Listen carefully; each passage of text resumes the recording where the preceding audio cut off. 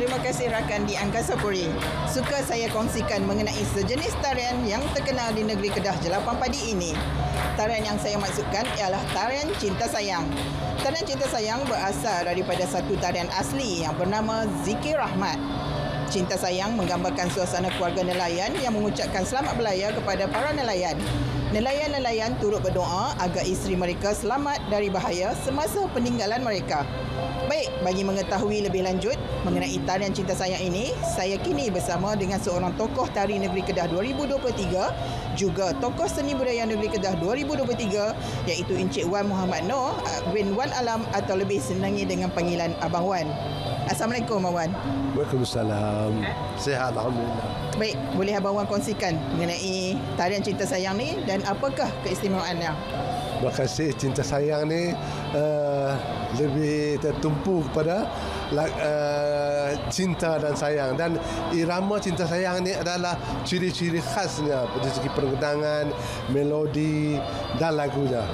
Baik, bercakap mengenai gerak-geri dalam sesebuah tarian tu kan. Apakah keunikan ataupun uh, gerak tari yang ada di dalam tarian cinta sayang ni?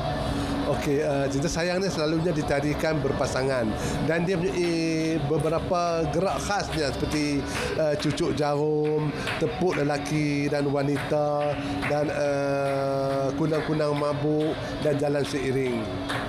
Baik, uh, selain uh, selain itu dalam sesebuah pertandingan kan selain daripada gerak tari dalam tarian tu apa lagi elemen ataupun kriteria uh, yang dititik beratkan oleh um, juri?